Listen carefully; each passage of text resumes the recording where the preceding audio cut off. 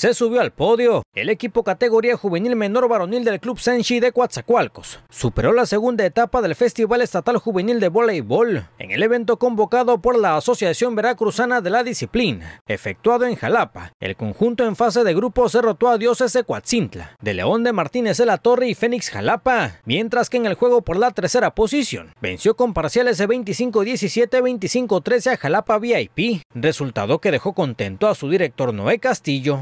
Bueno, en lo personal, eh, con mis jugadores, pues la verdad fue muy buena. Estamos un año abajo de la categoría porque pues yo manejo más jugadores 2008-2009 y la categoría abarca un año más arriba, que es 2007. Entonces creo que la prueba fue buena para ellos, el fogueo y pues obviamente la experiencia para, para ir agarrando un poquito más de carácter en el juego, más que nada para ellos.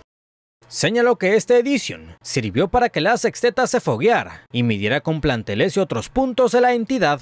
De hecho, cada torneo vamos con esa idea, cada, al finalizar cada torneo hacemos un balance eh, de lo positivo, lo negativo, en este caso lo que tenemos que ajustar, lo que tenemos que mejorar, pues obviamente para aplicarlo de la mejor manera para la siguiente etapa. Al término, la agrupación se instaló en el puesto 3 de la tabla general, con 375 unidades. Enrique Martínez, RTV, Más Deportes.